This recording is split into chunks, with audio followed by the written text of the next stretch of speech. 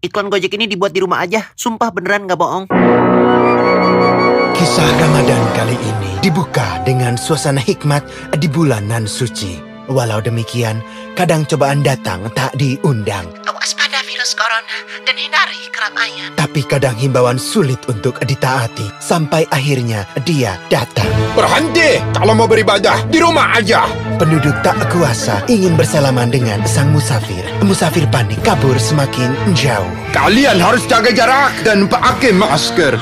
Lantas gimana kita ibadahnya? Ibadah bisa di mana aja. Kilat menyambar, tanah berguncang. Satu persatu jurus maut menggetarkan bumi. Sampai dia encok. Saya nggak encok. Dia encok.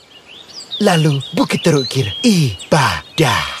Salah itu pakai e. Mau pakai etong? Tapi Bacanya ibadah. ah, apa itu ibadah? Ibadah di rumah pakai Gojek.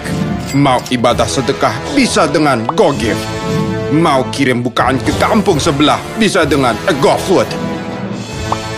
Jangan lupa sisihkan rejeki lebih untuk driver. Pasti ada jalan ibadah di rumah aja pakai Gojek. Tung turu tong tong tong tong tong.